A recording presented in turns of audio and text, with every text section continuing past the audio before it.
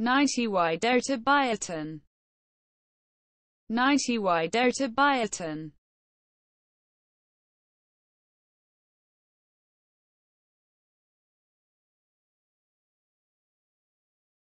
The vitamin biotin labeled with radioactive yttrium-90, used in the treatment of cancer, where it seeks out tumor cells that have been targeted by an antibody linked to streptavidin and kills them.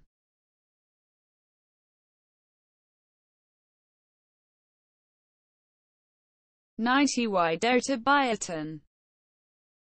Ninety Y DOTA